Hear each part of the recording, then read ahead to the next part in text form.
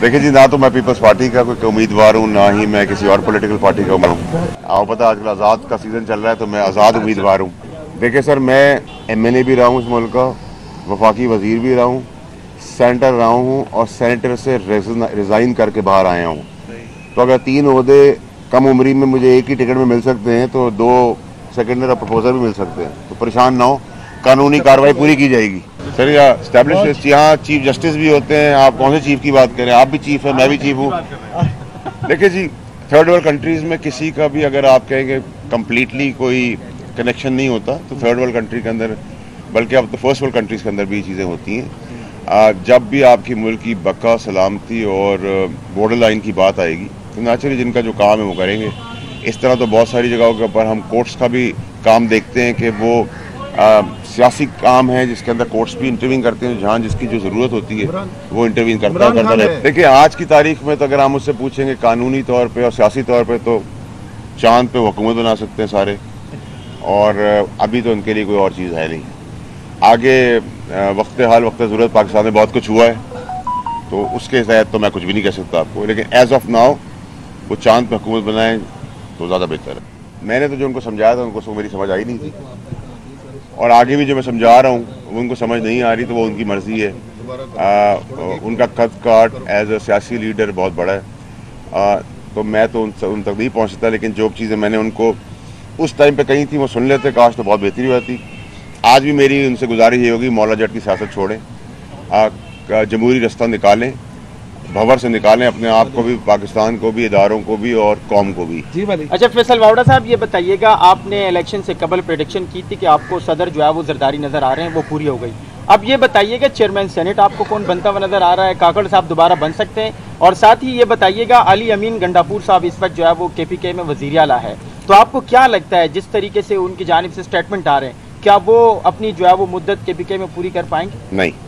ना वो अपनी मदद पूरी कर पाएँगे, परेशानियों का टाइम रमज़ान के बाद उनके लिए शुरू हो जाएगा। जो भी नाइन्थ मई के अंदर नॉमिनेटेड हैं कोई भी आइनी तरमीम या आर्मी एक्ट में कोई चीज़ की ज़रूरत पड़ेगी तो वो होनी चाहिए भी और हो भी जाएगी और होगी भी। नाइन्थ मई के अंदर किसी को स्पेयर नहीं किया जाएगा। जहाँ तक आपने सेनेट चेयरमैन की बात की, अभी तो फेवरेट हॉर्स पीपल्स पार्टी के कैंडिडेट होंगे। जहाँ तक आपने काकड़ साहब की बात की, नामुमकिन में से तो कोई भी चीज़ पाकिस्तान में नहीं है। अच्छा। जो 11 बजे ओत ले सकता है और वही 11 बजे जेल भी 11 बजे के एक मिनट जेल भी जा सकता है। ये तो पाकिस्तान की तारीख रही है। तो उस तारीख के हिसाब से चला करें। देखिए ख़रीद फरोख्त तो हमेशा पाकिस्तान के अंदर चाहे वो जनरल इलेक्शन हों या ज़मनी इलेक्शन हों या ये इलेक्शन हो ये तो नॉम रहा है। तो आज मैं आपको इस पर आके नहीं कह सकता इसके अंदर कि आज पाकिस्तान में दूध की नहरें बाँध दी हैं और आइन और कानून के हिसाब से सब चीज़ चल रही हैं। ये तो पाकिस्तान की बदकस्मती है कि हमारी डेमोक्रेसी शायद उस हद तक इसलिए भी नहीं पहुँची कि हमें सौ साल नहीं हुए। जिन मुल्कों को सौ साल कवर हो गए उनमें डेमोक्रेसी बेहतर है। हमें सौ साल से थोड़ा टाइम बीता दूर है हम तो शायद जो लकूने हैं वो टाइमली ठीक होंगे। अच्छा फैसल साहब ये बताएँ कि पाकिस्तान पीपल्स पार्टी कितनी देर तक मुस्लिम लीग के साथ रहेगी? एक साल डेढ़ साल?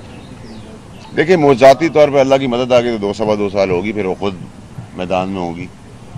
स्टेयरिंग व्हील पे होगी ये मेरा एनालिसिस है। क्योंकि एक तो ये हजब हाल हजब ज़रूरत दोस्ती है।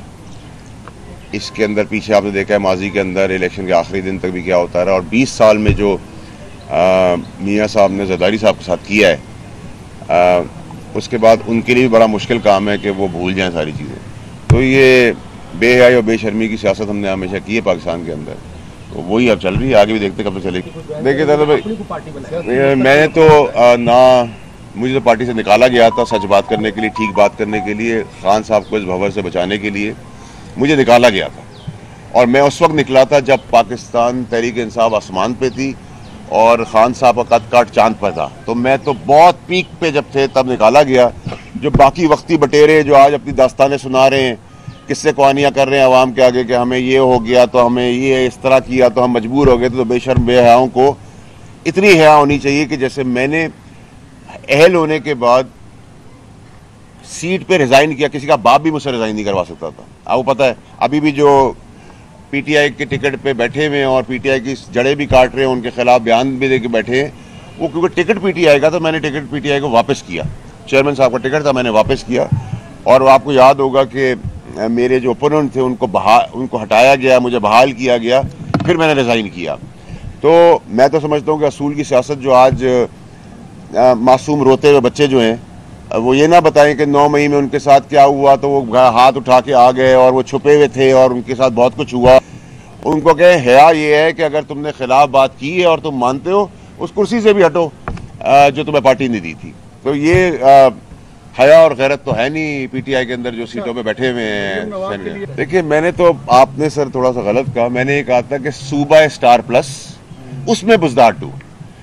नंबर एक। नंबर दो ये कि बहुत ज़बरदस्त फैसले हुए। मैं अभी देख रहा था कि नौकरियाँ चाँद से मिलना शुरू हो गई हैं सूरज आ गया था तो फिर अगले दिन के लिए नौकरियाँ चली गई हैं। और आ, मेरा ख्याल है कि वो जो तस्वीरें लगा रही हैं वालद मोहतरम की वो अब आपको तीन डब्बे और थैली और उसमें नज़र आएँगे। बहुत अच्छा तरीक़ेकार है। तो आपने कहा कि उनकी पॉपुलरिटी बढ़ गई है। तो वो सर अब आपसे कैमरे से हट के मैं अभी गुजारिश करूँगा कि जरा मुझे बताएँ कि पैमाना क्या है। अगर उनका ग्राफ बढ़ गया तो फिर तो मैं आसमान फाड़ रहा हूँ। साहब ये बताइएगा कि जीएचक्यू में तमाम तर जो है वो एक मिनट। जीएचक्यू में तमाम तर जो सियासी कायदीन है उनको बुलाया गया था। बशमूल मियाँ साहब भी वो भी जीएचक्यू गए थे और आ, गिलगित बल्तिस्तान के इशूज़ पर जो है वो उन्हें ब्रीफिंग दी गई है। आप क्या समझते हैं कि सियासी जितने भी कायदीन है उनको जीएचक्यू में जाकर फैसले करने चाहिए या पार्लियामान के अंदर फैसले करने मैं आपको नंबर देता हूँ D G I S P R का। आप उनसे रुजू करें वो आपका फौजी सारे सवाल करेंगे। मैं तो मजाज नहीं रखता कि जवाब दे सकते साहब आपकी एक हुई थी जरदारी साहब के साथ। एक दफ़ा नहीं आपने रिपोर्ट एक दफ़ा की कोई तस्वीर एक दफ़ा बाहर आई। एक सौ दफ़ा हो चुकी है। अच्छा अच्छा अच्छा अच्छा अच्छा। अच्छा ये ये ये ये ये बताए कि साहब जरदारी जरदारी साहब का बेटा बनाऊँ तो एक दफ़ा तो नहीं मुलाकात करूँगा ना। एक सौ से लेके अच्छा अच्छा ये ये ये बताए कि आसिफ अली जरदारी साहब आपके आपकी जो 100 100 मुलाकातें हुई और आपने कहा कि इससे तो क्या आसिफ अली जरदारी साहब ने आपको पाकिस्तान पीपल्स पार्टी ज्वाइन करने की ऑफ़र की है? हाँ या नहीं? रोज़े में हो सच्ची बताना। हाँ या नहीं देखिए मेरी अभी उम्र ऐसी है कि अभी अगर मैं दो चार और पाँच दस शादियाँ भी करना चाहूँ तो उसके लिए हाँ होगी। हाँ।